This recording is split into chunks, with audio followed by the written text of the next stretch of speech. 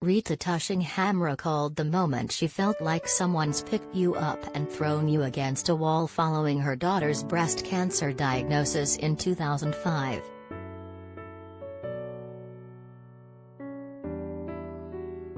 Tushingham found fame at the age of 19 for her role in the taboo-breaking 1961 film A Taste of Honey, which she starred in alongside Paul Danquah, and earned herself both a BAFTA and a Golden Globe Award for her performance.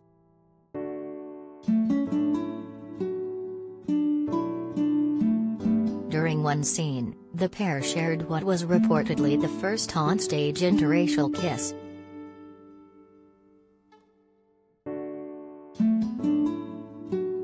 the esteemed actress, 80, who also featured in films such as The Knack, and How to Get It and Dr. Zhivago, detailed the anguish she faced when Aisha, aged only 33, had stage 3 breast cancer.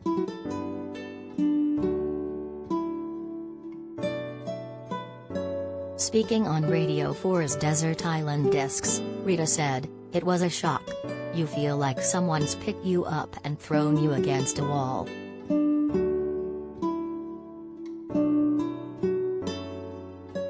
You can hide in a corner and not do anything about it or say right this is it.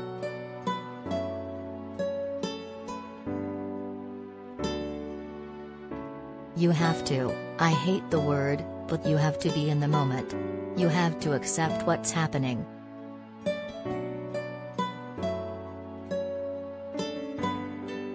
The actress became emotional when she reflected on the incident from more than 17 years ago and she lavished praise on her most amazing daughter after making a full recovery, and went on to give birth to a son.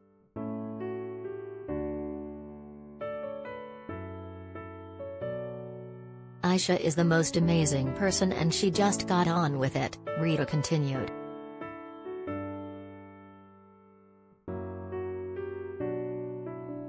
She is so strong and spiritual and she helped me and at the same time, I had my other daughter who was quite frail and ill in Los Angeles, in hospital at the same time.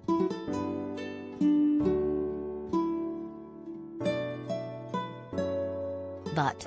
I made myself at the end of every day, I brought myself into this is the situation and I really slept well.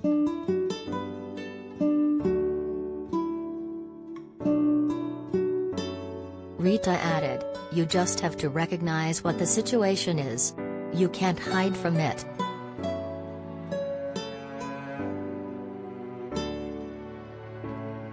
During the show with Desert Island Discs host Lauren Laverne, she also recalled her audition for the A Taste of Honey role, which had advertised as an unattractive, unknown actor which she said was something I could do.